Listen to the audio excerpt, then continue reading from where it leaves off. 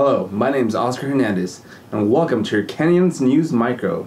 Firefighters work to stop the Jake fire from spreading any further. Santa Clarita car community came together for one eight-year-old car enthusiast a birthday to remember. We got Fire Station 108 here to wish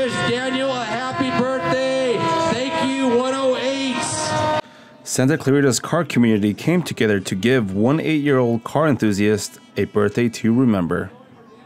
Thank you very much. Beautiful. We have a classic car from Back to the Future, the DeLorean. Many drove by to give Danny presents and wished him a happy birthday. We got a Corvette. We got a Corvette for you. All right. Look at that classic car. Happy birthday, Daniel. Before it's coming by. I'm not. Thank you for the El Camino. Beautiful. Look at that. Oh, another, another drive. The assortment of vehicles certainly put a smile on Danny's face, and this small event showed how close knit Santa Clarita is. Some of the businesses are having a hard time staying afloat.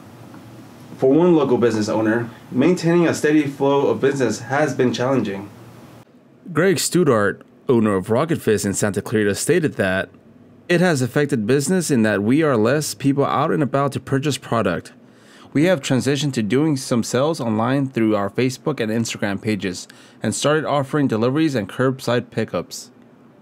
His message to the community is that hang in there and keep yourself and your loved ones safe. While it is difficult, this will pass. Rocket Fizz will remain open with a change in business hours from 11 a.m. to 7 p.m., Tuesdays through Saturdays, and close on Sundays and Mondays. During these unforeseen times, it is important than ever to support local businesses.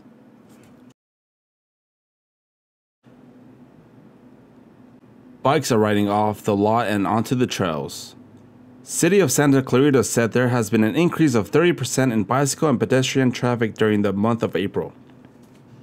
With most fitness centers being closed, some residents have restored to using bicycles as a means to maintain their fitness. According to Santa Clarita Mayor Cameron Smith, the city realizes the value of its hikes and trails during the coronavirus emergency. He also stated that you should be courteous and follow basic trail etiquette and remember the social distancing rule. For Canyons News Micro, I'm Oscar Hernandez.